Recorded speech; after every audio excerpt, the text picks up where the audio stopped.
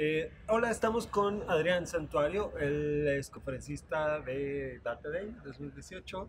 Eh, ¿Es tu primera vez en Data Day? Sí, Ah, es, es mi- eso, eso, eh, era virgen. Es mi primera vez acá, con- acá con ustedes. Ay, un gusto tenerte. La plática que diste, eh, híjole, el nombre completo, no me lo. A ver, déjame ver si me puedo acordar.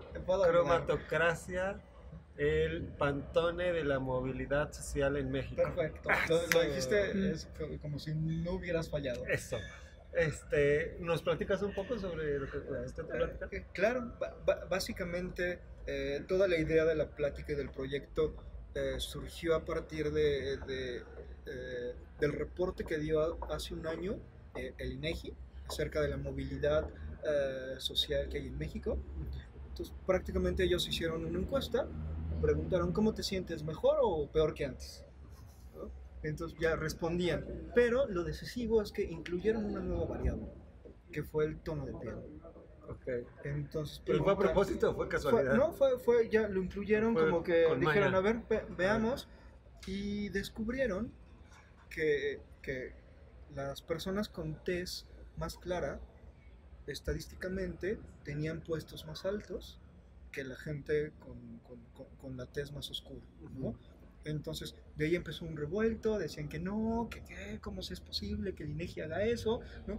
Pero lo, lo interesante fue que dio en un punto decisivo en el que sí, eh, nos dimos cuenta de que México todavía es un país racista. Entonces de ahí empecé un proyecto en el que eh, para calmar las aguas o no corroborar o no, porque todavía yo no sabía, dije sí, no, o sea, sí, sí he visto racismo, pero no. Entonces se me ocurrió hacer una primera travesura en la que bajé todas las fotos de los diputados de nuestra Cámara para analizar si había algo. En, en teoría yo pensé, pues todos deben salir parejitos, ¿no? Es una representación de todo y, y descubrí que no. Descubrí que, por sorpresa, la extrema derecha es más blanca que la izquierda. Ok. ¿no? El partido con, eh, con personas más blancas es el Partido Verde y el partido que tiene en, tot- en, en una media personas con tez más oscura es el PRD. ¿Qué- qué- cuando encontré eso dije, ¿qué, qué, qué, qué está pasando? Dije, oh, ¿qué pasó?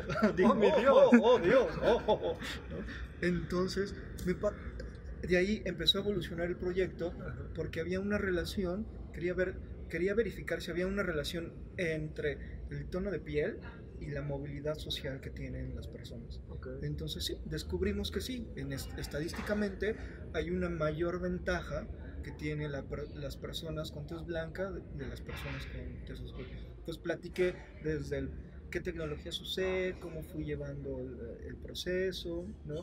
Se acercaron conmigo, ya estoy, el proyecto fue así como en una noche, así de que dije, a ver, lo hago, y empezó a sonar tanto que se acercó conmigo la Universidad de Cambridge, ya estoy trabajando con el Colmex, y hasta con medios, con Revista Chilango, ya empezamos a hacer eh, productos. ¿no? Comentaste sobre una activación que hicieron con ellos. ¿no? Exacto, lo, lo que me interesaba mucho es, me- están los datos y para mí como un comunicador, como, eh, como divulgador del conocimiento, para mí es muy interesante que la gente sepa las cosas. Está bien que hagamos gráficas, pero para toda la gente también hay que seducir con los datos, no solo porque esté bien nuestro pro- proyecto y tengamos bien y tengamos matemáticas, no por eso la gente nos va a hacer caso, también hay que seducirla.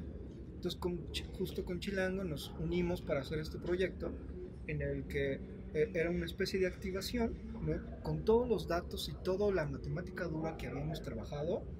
Tú llegabas, te tomabas una foto, te analizaba, te daba tu tono, tono de piel y nosotros sabíamos de dónde venías, o sea, si venías de Tláhuac o de la Miguel Hidalgo, y hacíamos un cruce con los datos del INEGI. Entonces te- te decíamos, ah, mira, de tu tono de piel, la gente que vive en Iztapalapa tiene, tiene el 80% tiene acceso al agua o tiene sus puestos honestos, ¿no? Entonces, si tenías piel más oscura, era, pues, eh, tiendes a tener puestos más bajos, que si eres más clarito, tienes puestos más altos.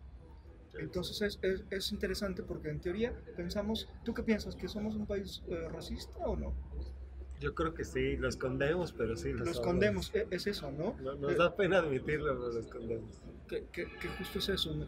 Eh, justamente más allá de la tecnología, me interesó escarbar para los que pensaban que México tenía el racismo escondido en 1500, no, to- todavía es un, es un tema muy actual que no solo la gente de tecnología, sino nuestros estudiosos en ciencias sociales, en las otras ramas, deben ponerle atención.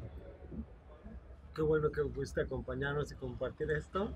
Un gusto y nos No, vemos en el que- que próximo. bueno, sin duda, ca- cada, vez que me inviten, yo acá ya, ya estaré con ustedes. Perfecto. Gracias.